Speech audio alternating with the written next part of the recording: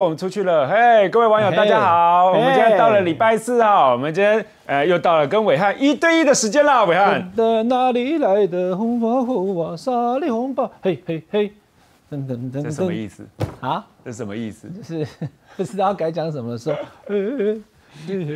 哎，今天蛮多新闻的，我问几个我们没有挑到正题的。卢秀燕说，她当市长的时候被人家摸屁股。哎，她当市长，哎，谁胆子那么大？就而且那个人一定是在类似像那种宾客跟得奖者，因为他们一起照相，照相的时候手放在他屁股上，会不会不会有不小心？有没有可能？有可能，就是说可能他习惯了，就是每一次只要跟女生照相，就是手都放在屁股上。哦，胆子真大哎！哎呀，市长不是有水户吗？所以这个水户没有发现啊？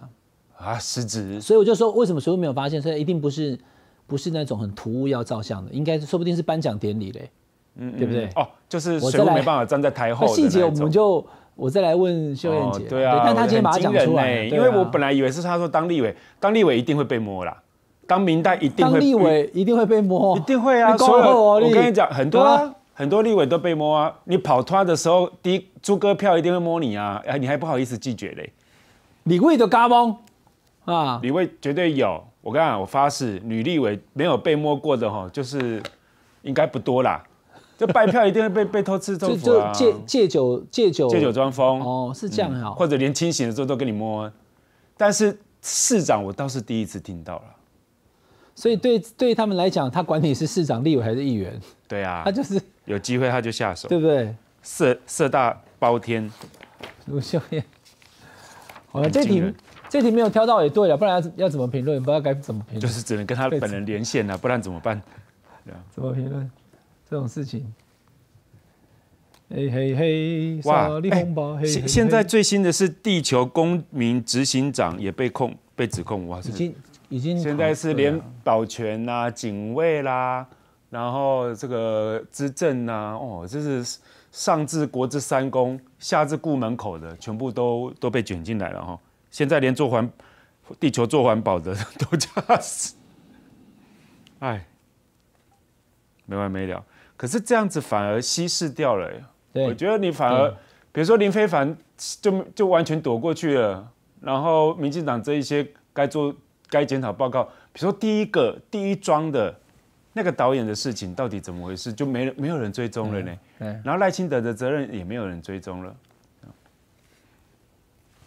我觉得赖清德下一次民调到底会是怎么样？我觉得非常值得关注。哎，你上次说性骚事情会让他跌五趴，可是我个人觉得他已经跌到不能再跌了，因为剩下三十趴应该都是死忠的。我跟你讲，你现在讲这是我要说的。嗯，我在节目当中讲说，我不知道会怎么样。嗯，我觉得应该会跌，会不会跌五趴？会不会跌十趴？我我我是一个问号。你是问号啊啊！但标题出来是，我知道了，来不及来不及解释什么，你愿意去看你就知道我我的说法是因为那如果没跌呢？如果下次再做，已经经过这个事情之后还是三十五呢？对，就代表第一个它切割成功，第二个代表可能大家不是那么在意，第三个就是太多起了以后伤害就整个模糊掉了。亮哥来了，对不对？来了来了来了，亮哥来了。有刚刚一婷有跟我那个，所以我怕他们现在就怕说你会被卷入性骚那个 Me Too 风波里面，想说保护你。严重。哎呀，现在动辄得就不能开玩笑呢。现在连讲一句来来来，亮哥坐我旁边，以后我带你进市府都被被告性骚了。对啊，我现在老沈在伟汉那边说来来来，克莱尔过来都没事。哎，这个就算了，现在这样都算了哦。哦，有有这种样态哦。今天最新的那个受害者是卢秀燕，我们早中午还讨论说，那以后卢秀燕，卢秀燕谁敢偷摸她？他说他当市长摸屁股嘞。当市长的时候，市长市长，当市长还有人以前我们被害者都要马赛克，那以后卢秀燕受访是不是都要这个哇，那这样吕秀莲搞不好也有可怕，连卢卢秀燕都有人敢，你笑大声，太可怕了。那那这一题大概卢秀芳不会讨论啊？有啊，我们就是先。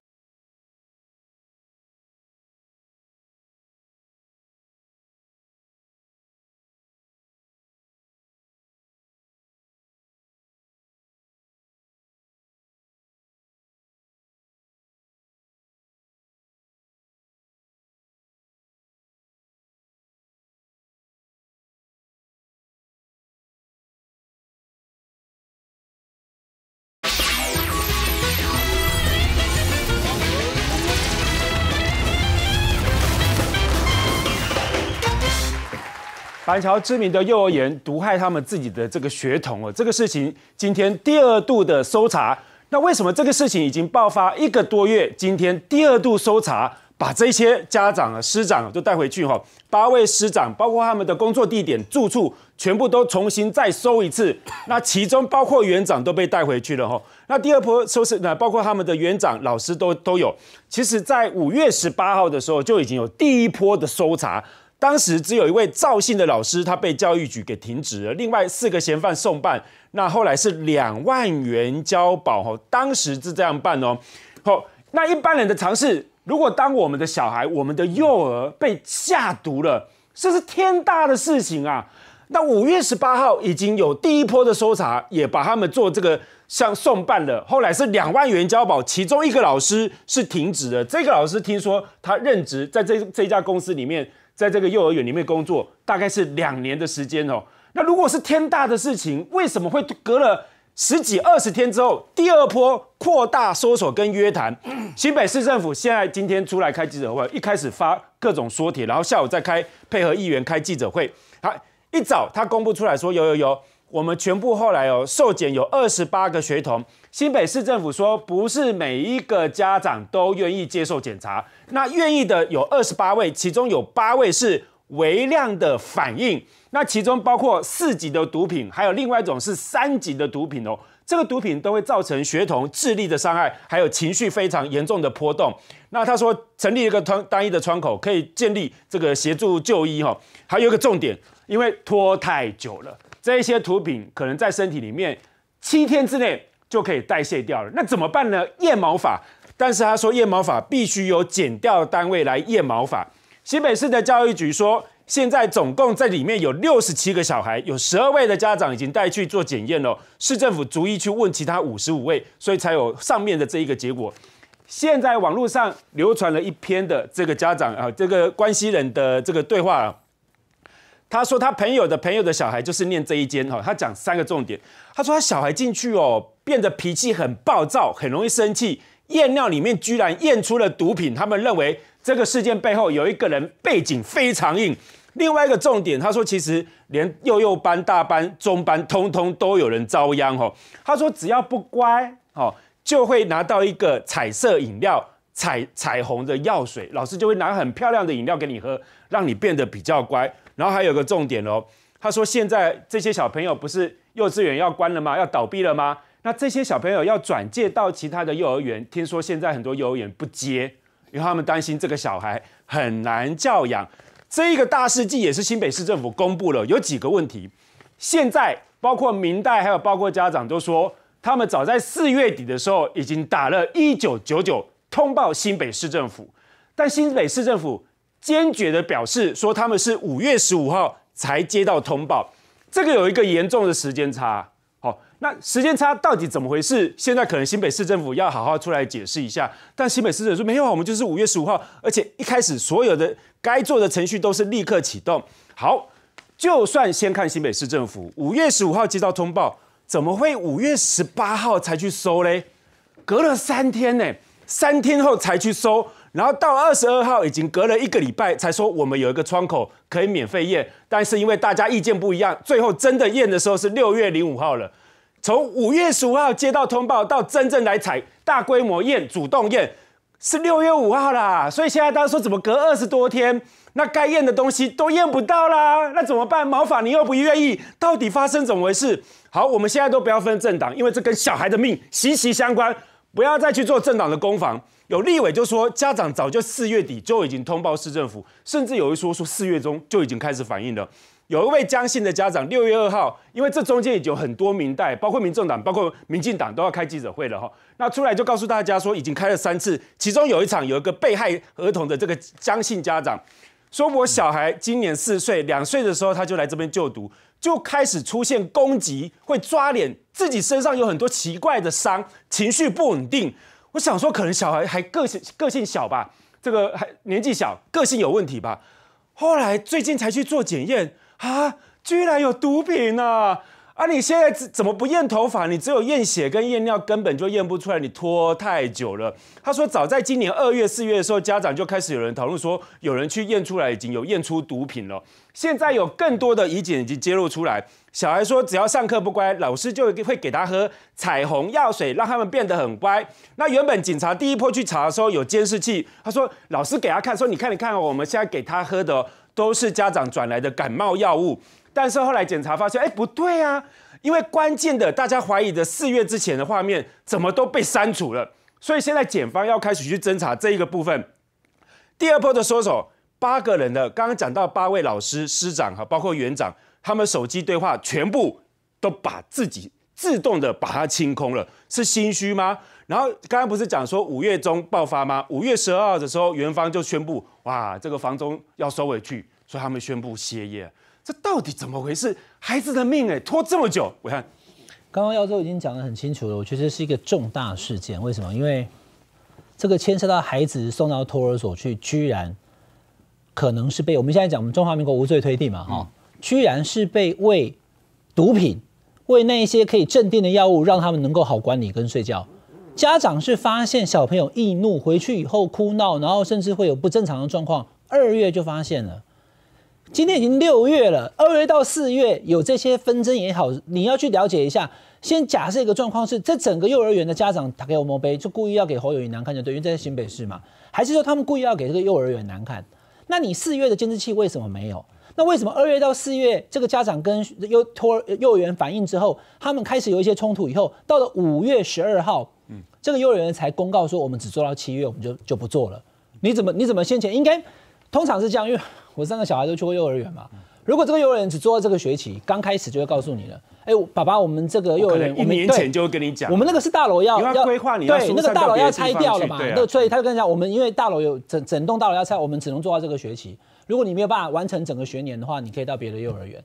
哪有说二月到四月发生的问题，学生家长通告以后，然后呢又打一九九九，也是四月哦哈。然后到五月十二，元方才突然公告说，我们七月底就结束营业，我们不再不再收学生，我们就结束了。然后才到五月十五的时候，市政府才真的发现说，哎，有家长来澄清了。可是家长明明讲四月的四月初哦，不是四月底哦，四月初就打一九九九，二月就发生问题，三月就去查，四月就跟元方翻脸，然后就打了电话都没有下文。现在新北市政府给的我们的这个这个流程，或者是说一个说明的一个说帖，是五月十五号。才第一次发现，那发现是因为前一天五月十四号，人家已经到警察局去报警了啊。五月十四五月十四号的时候，家长已经去海山分局报警了，不然你以为市政府为什么五月十五知道？所谓的四月底打一九九九通报，这个到底存不存在啊？那家长就想有打嘛，所以你现在市政府要出来跟他采信，你为什么四月底的一九九，而且一九九九哈，根据我了解。它里面都有通话记录，对，虽然录音或什么，它不可能不是每天每通录，它一定都有留下。家长恐怕要讲对嘛？那你的打电话的时间，所以好，那所以新北市府现在先跟大家讲，家长讲四月底打，呃，四月初打一九九九到底有没有？四月底没有，目前四月初就有打了。哦，四月初对，四月初就有打了。就你如果你看完，因为他家长已经太多个家长了哈，那你这样看起来的话，刚刚耀州讲没错了，这个跟蓝绿是无关。嗯，可是新北市政府现在被。一群家长集体质疑，就是有一点不是那么积极。那你回过头来是什么事？是小朋友送去托儿所，当然会有一些小朋友生病，有些那种药水什么，那有可能。因为我我觉得小朋友感冒会送去，然后老师会针对他。可是学生回来跟家长讲的是，所有的小朋友睡午觉之前通通都要排队，只有一种人喝不到，什么人你知道吗？就是早上不乖的。早上不乖的话，好，王小明你早上捣蛋哈，那中午就没有乖乖药水给你喝哦。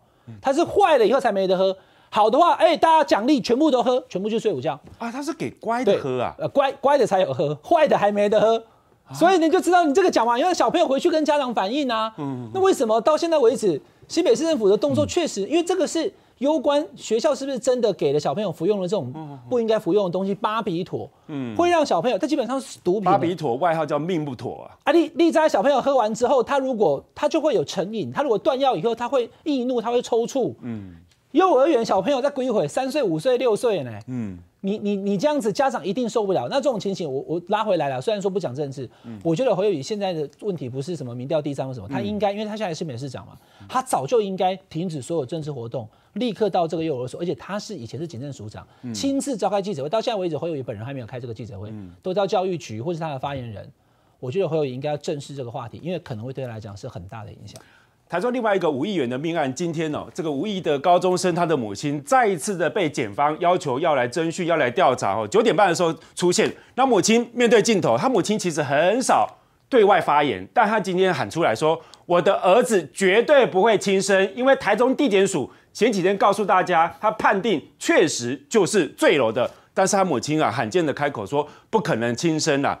现在包括所谓网络上的民众有发起五亿高中生要真相，他们要上街头哦，呃，组出组织一个社团，然后里面讨论各种案情。原本第一时间传出说这个夏姓的男子他的母亲啊，也就是这个地震室的前妻哦，要应讯啊啊，五十六岁了，看到照片出来啊，怎么那么年轻，这么会保养，这么漂亮啊？结果是急诊室的护士啊。要去查清楚，说这个死者在急诊过程当中里面到底打了几针？为什么他的手臂上面有四个针孔？到底是怎么来的？要让这个死者母亲能够有有进一步的获得证据哦。现在另外现在质疑说，夏楠呢，他当时在整个死者坠楼的时候，警察问他的时候，他说我不认识死者，好像路人甲一样。大家后来一翻身份证说啊，不对啊，死者的配偶栏就是你哎。所以差一点变成无名尸哦啊！当然就有提出这样的一个质疑。现在还有今天有个最新的 IMB，现在之前就有传出来，呃，有调查官也被骗了一千三百万。但是今天调查处哦，调查局的督导处说证实这个王宏威的爆料是属实的，真的有。但是他被骗一千两百万，诶，那一百万呢？他说一百万，因为有利息，他有拿到了。那至于外传说，因为他是调查官的身份，所以这个诈骗集团优先给他这个一百万哦，让他安抚一下。他说没有，他只是利息而已哦，不是本金哦。这个检察官其实很可怜，他被骗了哦，被这么骗这么大一笔金钱，还被利用。为什么？因为 IMB 的老师就利用他说，连调查官都不敢去报警了，你敢报警吗？亮哥？这个匪夷所思了，投资到一千两百万也很惊人。对啊，啊一千三，一千三，一千三不是更惊人？不，因为一般人投资占你现金部位二分之一就很大了。我们调查人员有这么丰厚的收入哦？对啊，可也许人家有家底啊，有有主产，说不定去借钱呢。呃，不知道，因为我们那个五亿高中生也是因为主产啊，对不对啊？所以所以很难讲啊。嗯。不过那个五一高中生那个案，我就觉得蛮奇怪，嗯，因为事实上刑事刑事鉴定不是很容易判断，对，他是死后才落地还是自己跳楼，对，那个应该是鉴定的出来啊，对，因为高大成就在质疑嘛，对不对？那为什么会这个没有鉴定结果了？嗯，哦，就是说从那个外伤来判断，他那个高大成他是认为说他是。这个发生事情之后才被人家扔下来，嗯，而不是自己跳的，嗯，哇，其实这个很容易鉴定的。现在就变成是受害那一方不愿意相信台中地检署的调，而且非常诡异的是，才结婚两个小时之后就跳楼，对，这个不是很诡异吗？亮哥，我想请教一件事情哦，因为现在。呃，被害这个死者的母亲哦，咬了一件事情。他说这个死者身上有四个针孔。嗯，台中地检署他原本是说法说，哎，不排除可能是急救的过程当中。不过这个不是应该就要，这个是重点啊，应该在侦办过程中，我发布正式发布调查报告之前，我应该要做嘛？怎么会做完之后才急急忙忙去把急诊急诊室的护士叫去查清楚，你到底是怎么擦擦身体的？啊，那个四个针孔是打了什么东西？就不知道啊。我的意思是说，你要做。你的这个检方要做对外正式报告的时候，不是就应该要先查了吗？怎么会今天才急急忙忙去补这个环节？我包括高大成讲的验尸，我也觉得很奇怪啊。嗯，这不是很容易辨别吗？嗯，而且他那个我们说是户籍上登录是他的配偶那位，嗯嗯，夏楠，然后还装作不认识，不是吗？对啊，他会不会是心生恐惧、害怕？那这样就变成嫌疑人啊，不是吗？这个太奇怪了，因为。照理讲，他应该要出来说明才对啊。嗯，不不过总之啊，最近是发生很多难以解释的事啦。嗯，像刚刚那个新北市那个案啊，我的直接直觉告诉我了。嗯，如果四月就有跟一九九九通报，嗯，然后被压掉，嗯，那可能就是这个人后台很硬啊。有这么厉害的？事实上有这样的传闻。可是，一九九九都会有记录哎。哎，我知道，录音就是就是那个幼稚园，它是加盟店嘛。嗯。那他的老板后台很硬啊，哦，所以就没有处理啊。你是说他加盟进去的那个集团很硬，还是说加盟不知道很硬？不知道，哦，你说不知道是你觉得他很不知道是加盟者硬还是哦加盟那个集团蛮大的、啊，嗯，那个是一个有名的品牌啦啊，我们就可是他们现在那个集团也认为他们自己是受害啊。他说这个是个别加盟单位的这个问题啊。嗯我知道了，可是就是当因为现在罗志镇那个有出示他们板桥地区这个议员跟他的对话嘛，嗯啊，所以就让人家觉得好像一开始那个幼稚园背后的力量是在阻止这件事情曝光啊，给人家这种感觉啦。那可是我不知道那个时间点，家长怎么可能只手遮天？不，我不知道那个事件那个时间点是四月还是五月。嗯，嗯不，因为那个新北市府是说他就是我我像刚刚讲的嘛，五月十四号报警了嘛，嗯，所以五月十五号就紧急做处理了嘛。那五月十四号之前在干嘛？嗯，五月十四号你如果说家长四月就去报，嗯，打一九九九了，还没有报案嘛？对。那如果都没有回应，那有这么多家长哎、嗯，而且看起来不是只有一个小孩受害，那怎么不会再打一九九九呢？对应该就有一堆一九九九是同一案啊。而且如果已经有八个小孩验出有毒，那就没有什么家长意愿啦、就是全部都要验啊。对了，然后他是说他家长意愿？不，他是说他没有那个验头发的设备了。没有，我是说，当其他八位小孩光是验尿就验出有危疾对微量的反应，就全部都验啦、不，这已经是犯案了，还在那边家长的权益，这就是匪夷所思啊！亮哥，我要问一下，你们你们民进党是不是爱乡土这个爱粉味哦？请嗯就、当然，这个性骚案现在如火如荼了。那大家看到说最新的是知名的这个媒体的男主位，但他现在是在政府的文化部监督的国家电影中心当董事长哦。那现在出来指控他的是知韩文化协会的执行长朱立熙，他说我们政府用公卡用人民的税金。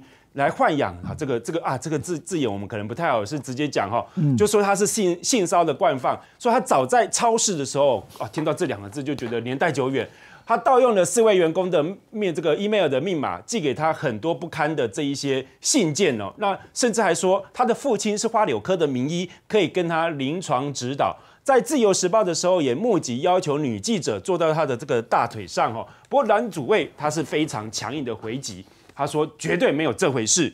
他说因为职务的需要，所以他有有掌握相关的系统，但他从来就没有因为性骚扰案而离职。他说指控的这一个人哦是如此不实的攻击哦啊，当然这已经变成是罗生门了。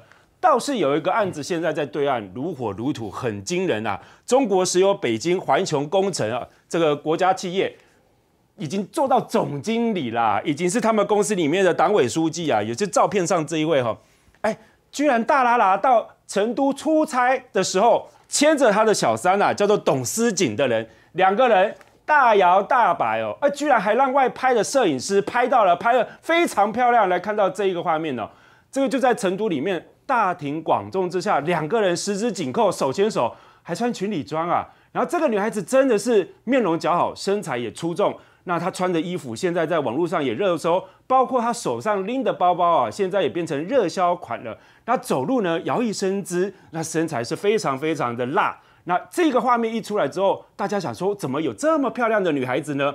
但没有想到，这一个画面一出来，立刻上了微博热热搜的第一名啊！因为原来她是小三呐、啊怎么会有这么高调的小三？不可思议！而且男生是国企的高官呐、这到底是怎么回事？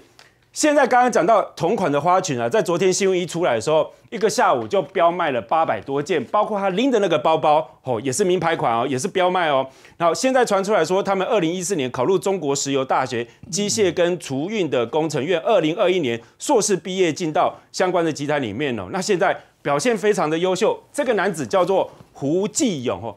那胡继勇跟小三还有胡继勇的太太三个人都在同一个单位工作。小三是二零二一年的时候七月加入这一家公司哦。那听说现在小三很厉害，本来大家就说可能是这个国企老总包养小三，就后来颠覆这个新闻啊，原来是这个小三家世渊源深厚，是他倒过来包养这一个老总啊。所以现在真相逆转，高官胡继勇是被这一个小三给包养的。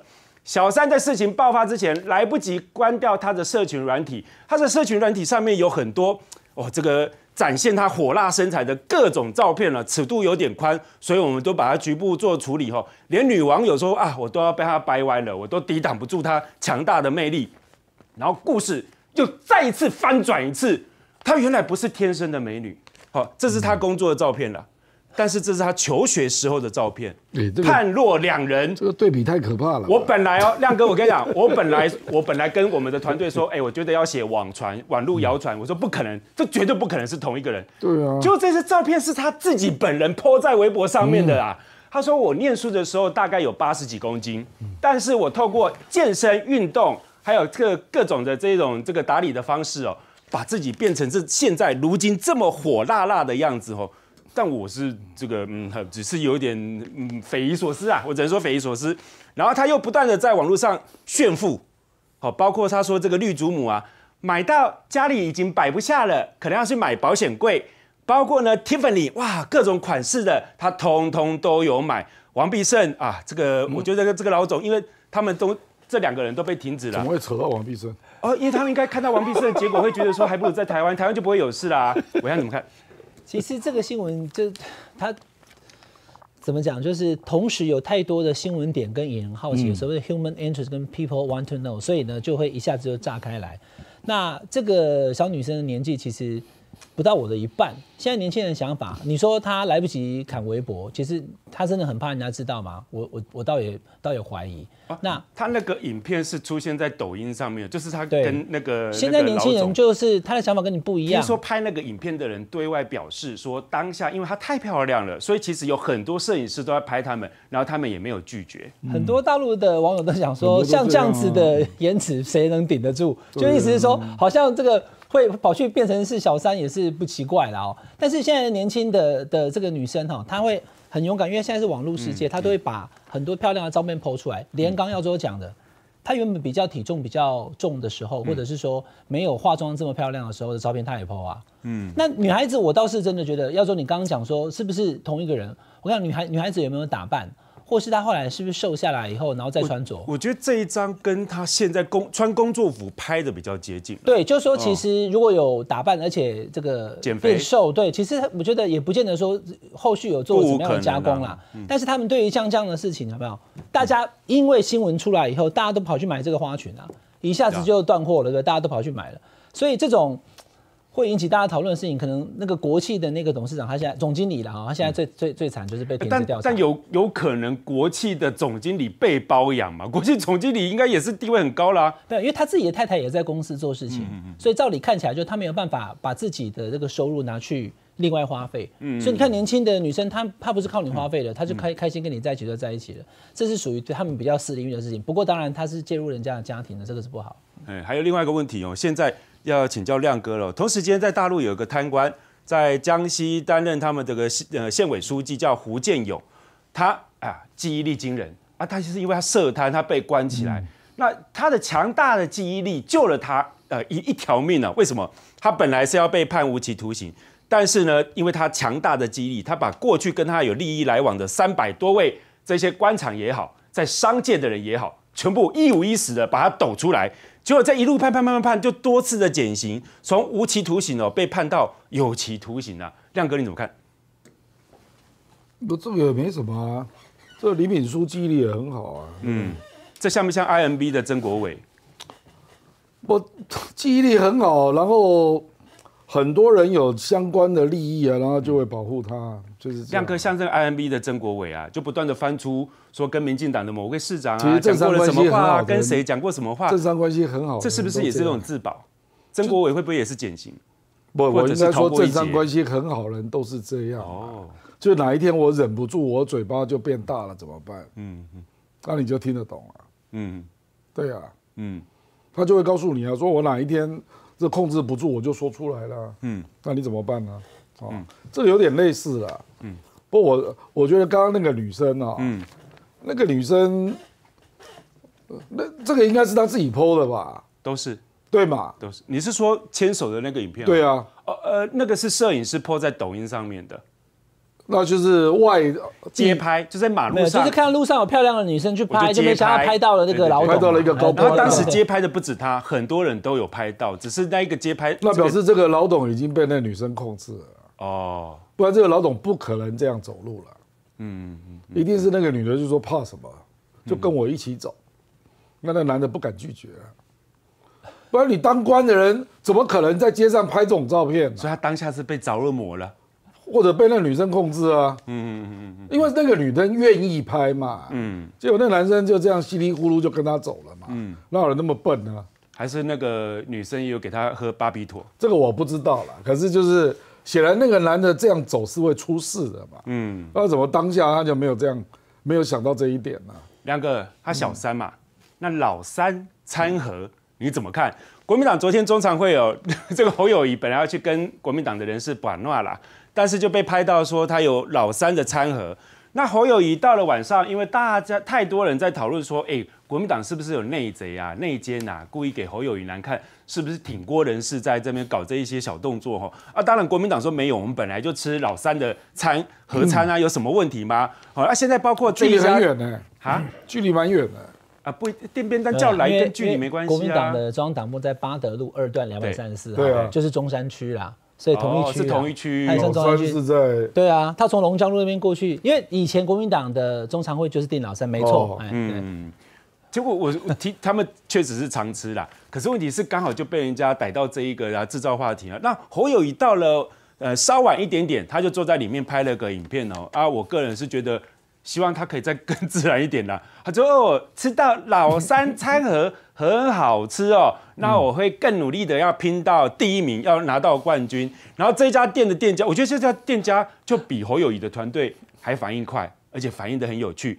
他小编说啊，怎么我怎么突然上新闻了、电话狂响，吓到三哥原地下班。然后他这里说，因为有台有有拿了其他照片了、说哎，这个是回馈地方的，才这个组合八十块钱，我们卖给这个国民党侯市长吃的老三哦，是这一种啊，价格多少呢？麻烦你电话跟私讯哦。所以他小编的反应，我觉得比侯友谊团队都还要更顺手一点哦。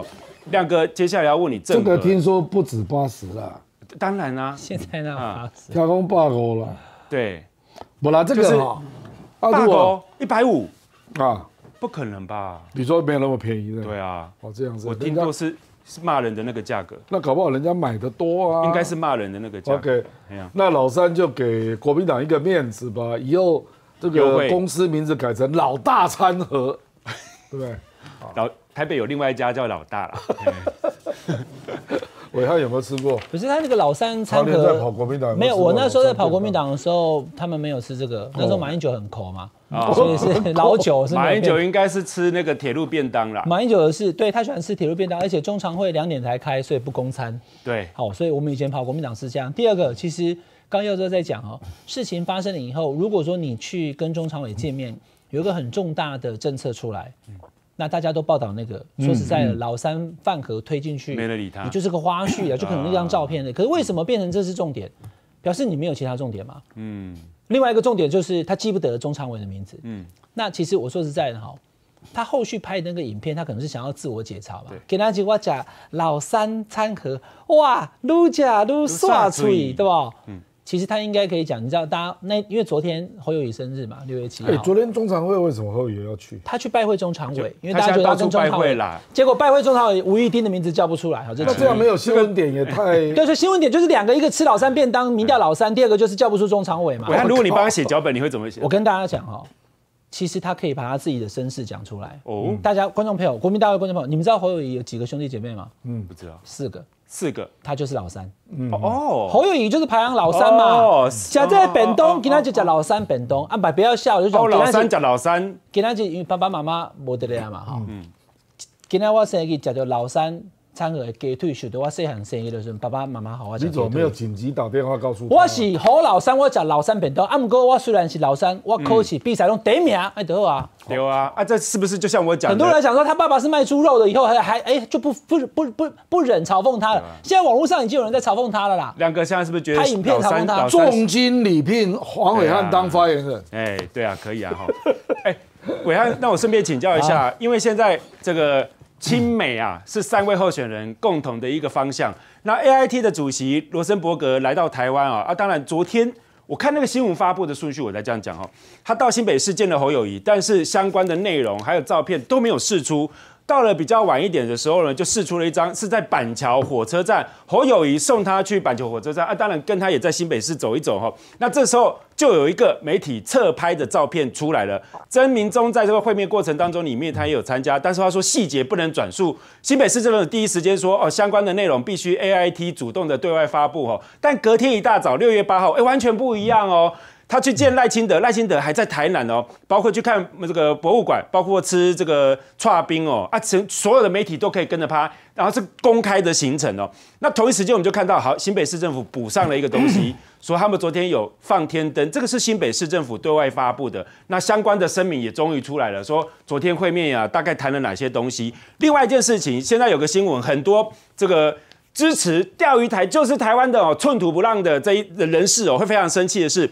柯文哲到日本去跟 HK 说，台湾人哦，台湾的渔民没有想要钓鱼台，但是呢，他现在相关人士就把他全文说，台湾的渔民哦，其实不是要那一块土地，是希望至少可以捕鱼，因为我们现在二十四海里面捕鱼是会被驱赶的，所以他是跟日本政府呼吁说，你至少要让我们可以捕鱼吧。我看，好，我很快讲哈，因为其实我觉得侯友宜还是太保守了啦，我们就事论事，三组候选人我们都评都都评点嘛哈。呃，美国的 A I T 的这个主席，他不会说完全不公开的，因为今天的赖清德就是作证嘛，而且接下来还有还有柯文哲发布与否，是不是要尊重他们？我告诉你，他都可以嘛，不然为什么赖清德可以全程媒体都？那侯友谊干嘛不直接发布？所以我的判断嘛，侯友谊一方面自己谨慎，怕说跟美国的官员 A I T 官员在见面的时候是不是有讲错话？过度而且他也不想要。所以你意思说他去拜会那个行程，其实也可以开放采访？当然可以，不然现在为什么天灯照片昨天不出来，今天才出来？啊！不，我现在说话就就就是我的我的了解是这样啊，会以为是规格不一样啊。没有啊，当然他是想要见侯友谊，他跟侯友谊可能最陌生，嗯，可是他一定有开放的部分。如果有什么东西不开放，这个是国这是国际外交上面非常 common 的事情。如果我有半个小时我们要密谈的话。在媒体面前讲说接下来不开放，这没有问题的，可是不会从头到尾只有在板桥车站那几天上上送车哦，一起挺明显哦，送你上车啊那样，不是这样的啦。而且那个放天灯怎么不能拍？那个是罗森天灯喜欢的，美国的外交官很喜欢融入人家的文化，所以你看有没有？新北市翻天灯远远超过那个吃串冰的，所以其实哈，那叫饶庆瑜嘛，对不对？那个秘书处长就是饶庆林的妹妹，在新北市，她应该就讲说，来我们新北市，我们的特色文化是什么？放天灯，带罗森伯格去，但是他就没有要开放记者，他怕中间如果有什么东西又被人家做文章，他太保守了。那你看像。赖清德他就挑在台南，因为他是台南。他怕记者东问西问。对啊，但他也可能怕那个互动过程中，他的英文没有那么流利之类的。我看他可能不想让大家看到。这这这有点。但其实这有点可惜。我看最后三十秒，请教一下柯文哲，这到底怎么？柯文哲他所讲的这个内容，他说台湾有渔民这样跟他讲哈。嗯。我今天打电话到日本就问他，他连那个渔民是谁，他告诉我是真有其人。我说起龟泥简，他是龟缸简啊，龟泥简。龟缸。我也去查了一下，因为观众朋友，我以前跑总统府嘛哈，二零一三年我们就签了台日的渔业协议。嗯。它在那个哈，就是一定的范围之内是可以捕鱼的。可是问题是，现在目前这几年的状况哈，我们是是二十四海里就被驱赶了啦。对，但是现在就是说，在这个蓝色协议可以捕鱼的部分呢，在过去的去年前年也都出现了我们的渔民。在这个蓝色可以捕鱼的部分，一样被驱赶哦。所以我现在不是说，所以柯文哲转达是说，你至少让我可以在在那区域对，那但是柯文哲不是说我放弃主权，那你让我捕鱼，他也不是这样讲。他说主权的东西，既然大家都坚坚持，都是我主权，中国大陆也坚持那个钓鱼台、钓鱼岛是他的，所以他就说。放是先放下这些搁置争议，但希望渔民能够捕鱼不被驱赶。我觉得他也没什么讲错，不过被批评就被批评啊，因为他讲的很直、很很白、很白目嘛，那就被批评。他的特色就跟其他两个候选人确实不太一样。好，更多精彩话题别走开，马上回来。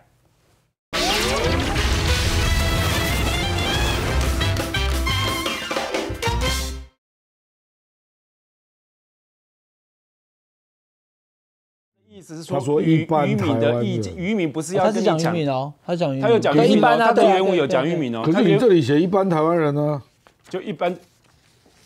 对啦，对啦，就是他在渔民或台湾人，在渔民也是台湾人啊。意思跟台湾人没有要去跟你们抢这块土地，他至少希望可以。讲好友谊这块是两百五呀。嘿，有个谐音啊，好，好，就。这样一个要两百五也太贵了吧？老三便当叫贵哦。是两百五还是一百五啊？我听我听到的是一百五。一百五哦，一百五这样很便宜耶。对啊，不这样也不真的不价。青岛排骨一百啊，这样这的价值说不到 青岛两百五。排骨躺着也做，没有吧？青岛排骨不止一百吧？一百啊，没有，我要本来九最近涨，十五啊，现在变一百啊，没有没有，它涨价了。多？少？已经到一百。没有啦而，且州长有耀州，他哎这个并不是双主菜呢，对对啊，所以不太可能两百五。一点五主菜啦。对呐，所以是一百五我。不会不会。等一下，小三的小编在脸书说国民大会，你需要必须要跟我澄清。青岛排骨刚刚一百二，青岛排骨的鸡腿鸡腿价格你知道现在多少吗哦，？我龙角排骨，一百三，真的吗？一百三。那个君越排骨现在一克也是要一百四啊。你有去啊？没有，是人家很震惊传给我，一百三。排骨也一百二了对，嗯，对。啊嗯？拜托，之前亮哥，九十五，你那时候哎青岛应该一个便当才六十吧？对，哦，怎么会已经一百二了？就涨很快啊。这我让你把手把它下。起来，因为我前前前阵子看到这个照片，我也是惊呆了。五月二十四，那就前几天而已啊！是啊，啊，真的哦，嗯哼，全部不去加啦。嗯。然后伟汉还停留在一百块，他妈几百年前。不是，我本来还想讲九十五，哎，九九十五是很久以前九十五至少有哦，你真那你真的太久没有去没有跑新闻，也没有很久啦，九十五大概大概三年前，年三年前，没有啦，九十五真的。啦。今天啦，高所以你现在变一百，要要讲说青岛排骨在三年之间从九十五变成一百三一，百一百一百二，我讲我都我都我都是讲排，我都那排骨，是130啊我都是讲排骨，现在一百二啦，排骨一百二啦，对啦，但是但我是说鸡排给二十五块呢，你整下可是涨价五哎，涨价二十五趴，的他的他的鸡腿便当一百八我也会吃，君悦一百六，对不对？君悦大概一百一百四。可是这家真的好吃啊，他鸡腿我一百八我也会吃，你去青岛排骨都吃鸡腿啊？对啊，它是叫青岛排骨，不是叫青岛鸡腿呢？关我干我屁事。你为什么都吃鸡腿？我哪不都吃排骨去君悦排骨啊？君悦排骨因为君悦不不君悦君越排骨越感觉不一样你不是君悦鸡腿。哦，没有。你刚才不叫鸡腿呢 OK OK。耀州说我要鸡腿，哎呀，耀州啊，那个鸡腿都是冷冻鸡肉啊。我管他的啊，外食就本来哎、我们现在都有出去哦。亮哥，亮哥，你现在是讲一般的鸡腿店对不对？不是指青岛吧？哦，青岛我不知道了。哦，你这样会让人家误会、啊。哎亮哥哥的身份地位，哪可能赶快赶快小记者一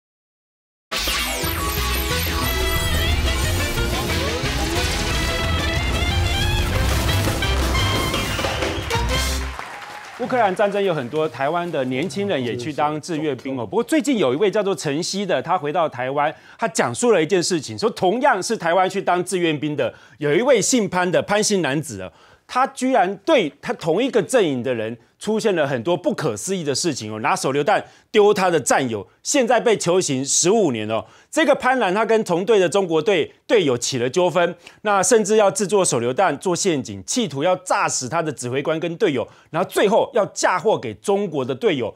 陈曦呢爆料了这件事情，没想到他就对陈曦还有包括他的老外的队友丢了手榴弹，所以他的同行的人有人被炸的整身全部都是伤哦。那现在这一个人准备要接受这个十五年球刑十五年了，至少十呃十到十五年之间哦，一个非常不可思议的事情。那昨天震惊全世界的这个水坝被炸的事情，现在还没完没了，因为水位不断的在持续增加当中，那至少还要到四到五天才会开始慢慢的消退，要紧急撤离相当多人。那俄罗斯福祉的市长有出来讲哦，现在一秒钟就会跑出多少水？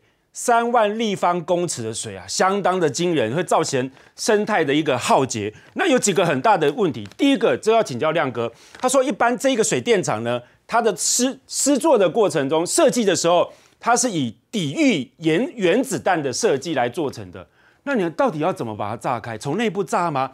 另外一个红十字会告诉大家一个很恐怖的事实，他们正认真的在做扫雷、定位啊，把这些危险的东西要清除掉。结果所有的定位因为这一场大水，全部通通付诸流水了。那有人讨论说，翡翡翠水库这个台北市，如果一旦被炸开，一旦溃体的时候，据传呢，台北市至少会淹到七公尺这么深。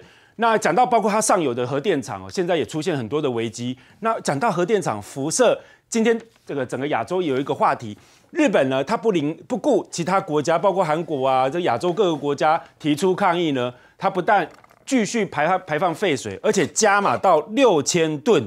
那现在包括香港就说哇，这样子绝对有问题。然后福岛附近的渔民他们测出来，这个雨约超标了，辐射超标了一百八十倍。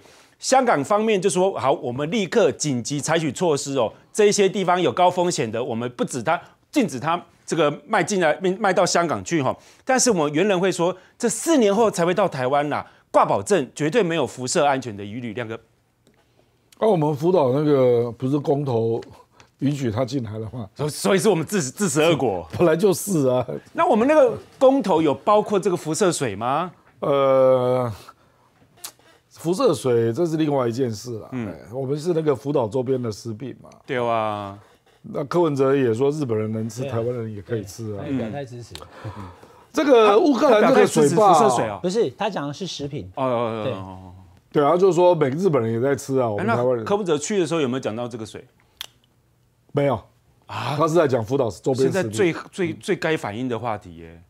不，这这个议题，日本首先面对。韩国、中国、俄罗斯的抗议，对啊，对啊，对啊，所以还有的吵了。嗯，这个乌克兰这个水坝，坦白讲，不是，我认为不是一次性攻击就坍坍方的哦，因为这个水坝非常的大，对，它影响了三百多万人的饮用水啊，哈，那应该是周边陆续有被破坏了，哦，周边啊，然后最终到达了临界点，啊，就崩崩塌了，这样啊。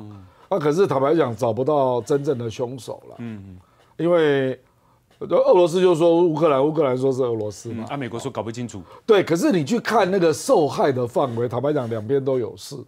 两边都有事。对，因为那个赫尔松德涅伯河以西，嗯，现在已经让给乌克兰了。嗯，那那个地方就淹水嘛。嗯，啊，可是问题是，你如果把这个水坝给炸掉，那克里米亚以后就没有水喝了。哦，所以等于是俄罗斯也受害，乌克兰也受害。哦，所所以你说是哪一方的军方刻意去做这种事？真的两个是以结果论来讲，绝对不可能是他们两两边都受害。嗯，但总不会有第三方吧？呃，有啊，有可能是双方失控的激进派啊，你不知道嘛？嗯，因为这件因为这件事情非常严重。它影响到生态的变化，嗯，因为造成那个机油啊倒到水里面去，嗯，那那个地方本来有很多农产品嘛，嗯，水产嘛都受到影响，所以安理会为这件事情特别开紧急会议，嗯，因为战争不可以打民用设施啊，那是战争犯犯嘛，这个是违反战争法啊，而且你如果水坝可以炸，我怎么知道你接下来核电厂会不会炸？嗯，所以这是很严重的事啊，嗯。因为这个水坝影响的人实在太多了嘛，嗯，所以安理会现在开会嘛，嗯，所以要采取紧急措施嘛，可是现在你去看那个照片，就是整个都看那个事态持续在扩扩张当中，然后会造成乌克兰做反攻的严重的障碍，嗯，因为你这个车子水了，车子都泡在水里面，你怎么进攻？嗯，这个有点类似抗战的时候，嗯，你记不记得国民党那时候把那个大花园那个水水水坝给它炸掉？嗯嗯。那为了阻止日军往前走嘛，就淹死了上百万人了。嗯这个我不知道有没有死亡那么多了。嗯，不过确实造成很多人无家可归了。嗯，我看那个韩战在 一九五零到一九五三的时候啊，到最后一九五三年的五月十五，嗯，美国开始炸水坝，嗯，秃山水坝，嗯，茶山水坝。后来两个月后，七月二十六就结束了。因为你水坝一炸了以后，哈，水坝的水下来，嗯，下面数以百万计的人没有粮食，嗯，容易生病，嗯，而且呢，整个受阻碍以后没有办法再打，然后呢，就开始有饥荒，哦，失去战斗意志就投降了。所以你今天你看这个另外一个问题，今天美国粮食期货立刻起涨。但是你要知道这个为什么难，就难在说它那个水坝大了炸了以后，它在那个涅伯河的西岸跟东岸是分别是乌克兰军跟俄罗斯军，两边都有人受害。如果单一受害就知道一定是另外一边做的，但两边都有，所以就会莫名其妙。那刚刚佑州在问我说，那个我刚刚去查了一下福岛水这个事情，柯文哲日本也有讲，他说他相信日本应该是一个负责任的大国。应该会做好的处理。他他有的他的说法是这样，有他是提出抗议吗？还是表达？没有没有，他认为日本应该会好好处理，所以相信日本会处理好，所以他他有他有做这个表态。好，更多的话题我们休息一下，别走开，马上回来。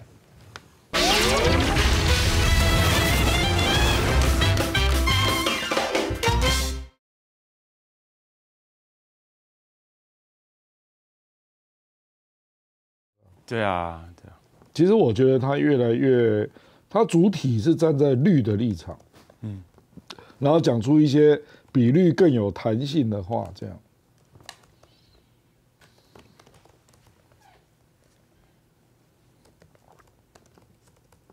啊，恁好好拢无新闻咩安怎？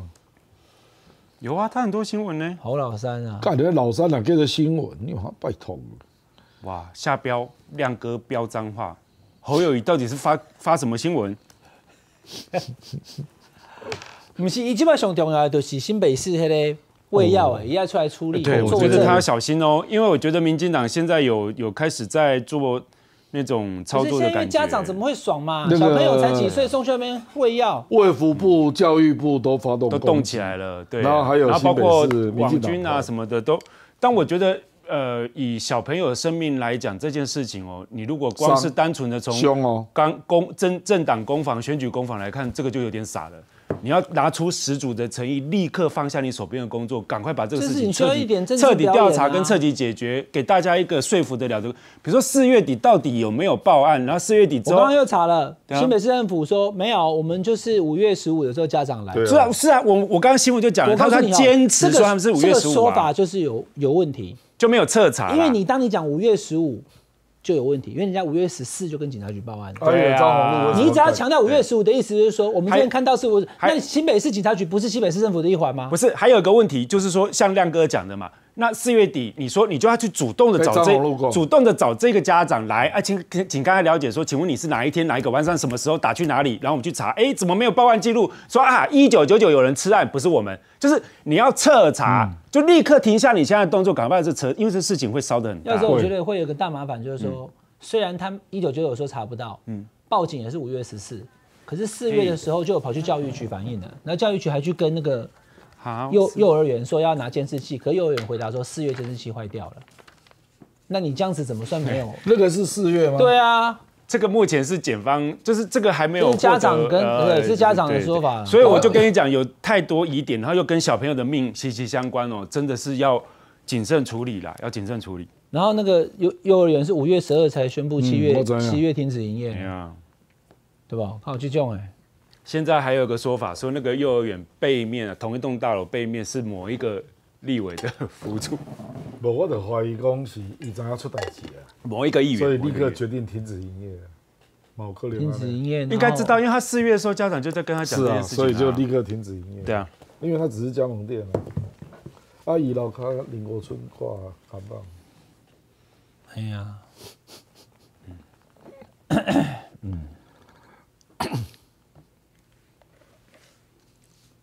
所以乌克兰会战争会因为这个水库会延缓呐。延缓出兵，没了这么个动不了啊。哦哦。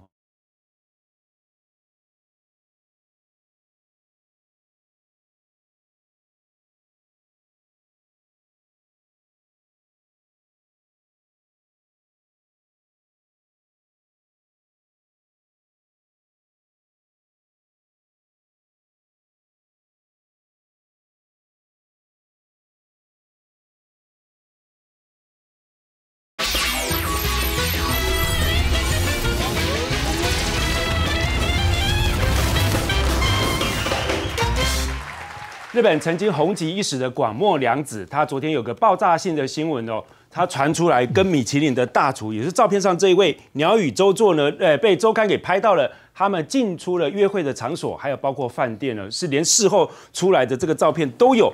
但广末凉子纵使这么多的照片都拍了，他说怎么可能？我是三宝妈哎，我三个孩子，我不会做不伦的行为。他坚决否认，但他的经纪公司没有挺他。她说，经纪公司说我警告哦，你个人行为你自己要去承担哦。她的老公也没有挺她，她老公说我不予置评，然后随后就点出了很多的蜡烛哦，那大家也去支持她、声援她、疼惜她。所以有没有这个答案已经非常明显了。广末凉子以前长得很清纯、很清亮、通透，那广告女王，广告接不停，大家都很喜欢她。但是这几年她给来的给人家的形象，给人家就哎，好像是肉食女的形象比较强大哦。有七段的情史，包括大学时代交的男子伊势谷有介哦，跟他交往分手之后，甚至还传出她有各种疯癫的一些行为的表现。二零零一年，她男朋友是金子贤，她的前夫是冈泽高宏。他有人说他是工具人。当这个广末凉子想要脱离演艺圈的这个呃羁绊的时候，借着跟他结婚，暂时脱离了这个演艺圈哦啊，结果后来他发现演艺圈还是很重要，跟这一位前夫的婚姻也就结束了。二零一四年，婚外情的对象佐藤健更轰动啊。那刚刚讲到的他外遇的对象鸟羽周作呢，现在在网络日本的网友上面说他是这个同志界的板桥环奈。刚刚讲广末凉子号称是日本二十世纪。最后一位的美少女，而这一位桥本环奈呢，她号称是日本千年一遇的大美人啦。我看两个都是很漂亮的日本明星，我都因为我常看日本的影视，我都认识了啊。那广播两者是我们这个年代的女神啊，嗯，那她的感情这么丰富，你看到乔佐藤健跟伊势国有介这两个这么帅啊，大家想说啊，是不是？哎，你什么意思？不是，你今天这个是说鸟语周作，你说醒差很多。那如果是真的啦，对，哦，如果是真的，他否认啊。人家是米其林一星的厨师啦。对，两个我觉得您，如果以外形来讲的话，当然是佐藤健帅啊。佐藤健最近还拍那个什么？但只能说他也许他做的菜好吃啊。他可能不看外在，不是，但不不要不要。是听说他炒菜有个技术很厉害，他很会翻。好，是没有错。但要说我说炒菜，亮哥，你要知道一件事，就是人家那个广播良子说他没有。啊，还是要尊重他。他说他没有，但是，哎，请问三宝妈就不会不伦，这是什么意思？他的意思是说我是三孩子的妈妈，所以我没有。他意思是说我不会乱讲了。哦。可是你要看他的这个经纪公司没有挺他哦。日本的经纪公司对日本经纪的艺人拍那么清楚，对啊。所以这个东西是这样哈，又牵涉到私生活的事情，就很难评价。不过我们这个年代人对广末凉子的记忆是好。非常的深刻，就是他是很红，而且也跟那个法国的那个少年若拍了很多片子，也跟那个高仓健拍了。他拍那个法国电影的时候，卢佩松也曾经把他约去房间，一对一的指导他。嗯，有吗？有。好，如果他有来住台湾，他可能 Me Too 就会写一篇了。我都只记得广播亮子好的一面啊，他拍的电影都很好看。哎。他当时非常红，而且他年轻，只有十七岁的时候就上了日本的红白大赛，红得不得了，会演戏又会唱歌。他以前最红的时候，甚至有一部戏啊，他演外星人，然后讲话就叽叽呱呱，很奇怪的腔调，但爆受欢迎，因为他实在长得太漂亮了。我们休息一下，马上再回来。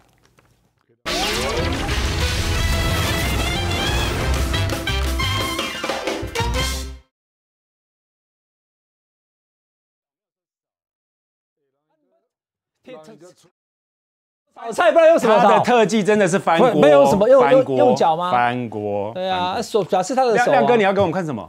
他的书啊，有名的书啊。啊，他创造美食。亮哥，我跟你讲，那个那个男的还有自己拍的纪录片。这个大网红嘞，他是大网红，他是厉害的哦。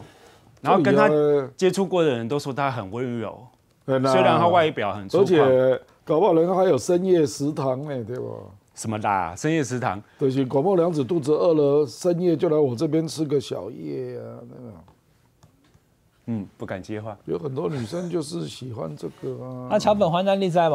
桥本环奈，桥本环奈我真的不知道哎。他表你讲他这什么叫做你讲他板桥啦？啊，板桥环奈哦。你因为我被那个儿童的事件。我给完了板桥环奈，被被那个小朋友的事情太震惊了。那个桥本环奈，桥本环奈，哎，而且什么叫做同志圈的桥本环奈？这是什么意思啊？就是同志圈里面千年难得一遇的。高主耶啦。桥本环奈你唔知吗？我是说，我是说这个比喻是这个比喻是什么意思？桥本环奈很受欢迎嘛？没有，那你拿它来做，它是同志圈的鸟语周作是什么意思啊？就是说一起 gay 圈的桥本丢丢丢，哦，是公，主要是 gay 圈非常受欢迎的人哦，好难想象哦。我觉得亮哥在同志圈应该很受欢迎。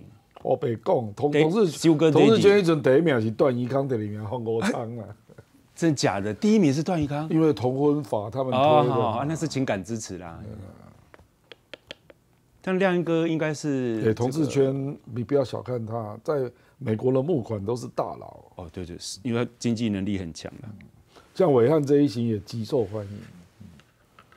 那是受他们应该。是最受欢迎，应该是亮欢迎同。志圈呢，亮哥是因为亮哥是，你不去 gay 啊，你去 gay bar 出来，我靠，洗掉不刷去啊你，若是去 gay bar 可能出来的三就给笑的伟汉三浪我红跳了，伟汉我带你去好了。你你可能去 gay bar 的给笑你，可能三浪红跳你，你我带你去，然后我们开全程开直播，就搞不好抖内满点哎，有可能哦，被揍能哦。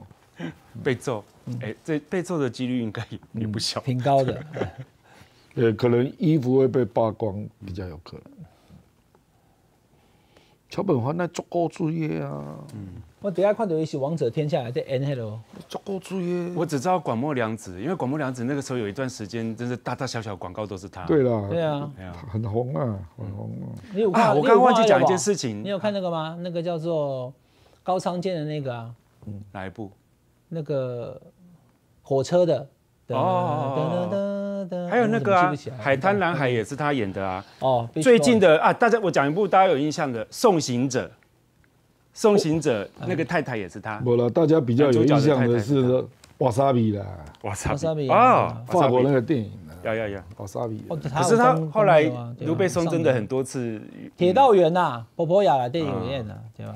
他还有个事迹，他有一个记录，他是日本女星里面第一位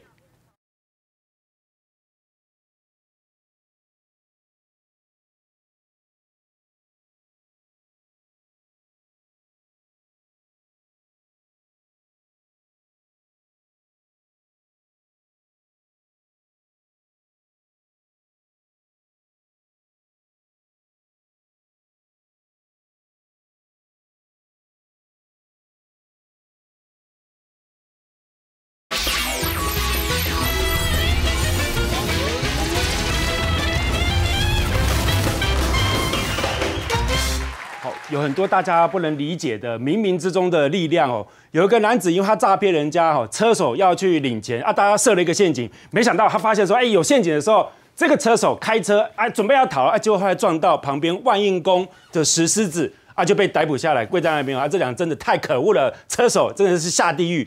那现在在泰国有有这个神机哦。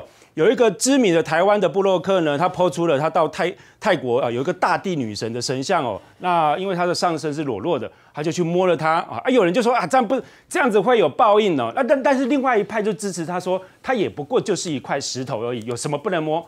但有些事情就比较离奇了。泰国的罗永府，他们当地有一个巨型的女海妖的雕像，但是现在新闻上啊，这个雕像有两座啊，一座是这样，一座是这样。那有一个男子在一年前他许愿。如果未来之后我中了乐透，好拜拜这个海妖。他说我中乐透呢，我会还愿。还愿的方式就是回来，我用这个这个这个吸吮的方式，好吸吮他的胸部来满足海妖。后来他真的中乐透了，他就真的也还愿了，做了他许愿的这那个动作。但是后来居然好造成当地全村离奇死亡五个人，而且每一个人都是惨死。但我也觉得很奇怪。你都跟许海妖许这样的愿啊，他也让你如愿了啊。如果没有还愿，这不是会有更大的问题？那加拿大有出现一个状况，有一名女护士，他们家住在溪流旁边啊，有森林，她就装了监视器，结果意外的捕捉了一个让她毛骨悚然的画面哦，有两位几乎这个赤身裸体的女子，她们这吃的哦，地上这个是鹿的尸体。然后很惊讶，怎么会有这种事情？难道是传说中的女巫吗？他很惊讶。我看台湾的诈骗没有人制服得了，这个万应宫哈，准备要展开戏香火鼎盛，被诈骗的人现在要不回钱嘛？你看，光是 IMB 二十五亿五千多个人，虽然那个曾印峰落网，但钱拿不回来啊，大概也可以拜拜，拜托万应宫。你看那个画面跑出来，嗯他警方埋埋伏是一回事啊，嗯后来车手是开了这个双兵名车在追在跑，嗯他就撞到万应宫之后卡掉了保头照就落网了。哦，所以其实这个一定会传为 这个新闻，其实反而是马仔利亚他一般撞了其实是可以跑啦。不，这个车是好然卡住了，对嘛？他就是他就是他就是在那边落网嘛，所以万应宫。对吧？万啊真的万应现在所有被诈骗的人的吧，诈骗遇到万应公就会落网了。这逮中了，对啊，好，所以打个因为现在台湾被诈骗的很多这个是诈骗的呢。他诈骗人家以后呢，然后他去取款的时候，警方因为他要报警，他发现我被诈骗要叫警察来，结果呢，万应宫的那个那个那个那个庙庙前把石狮撞倒以后，诈骗的人可能都会去。对啊，我就说、嗯这起新北市哦，大家可能就会去拜托万应宫，看可不可以帮帮忙，让我被诈骗的钱找回来，让诈骗我的人落网。我相信这个会传传为这个台湾南北大家都会去谈话谈论这个话题。又要车手去啊，奥多巴很广对。哎就是 就不要做坏事啦。做坏事，我是希望他不管怎么样都会出状况。我看他警察在追的时候，他也开车开得很慌啊，哦，也是很厉害，要不然的话，因为他吓到啊。他那个车是警，如果他真的开得顺的话，警察应该抓不到。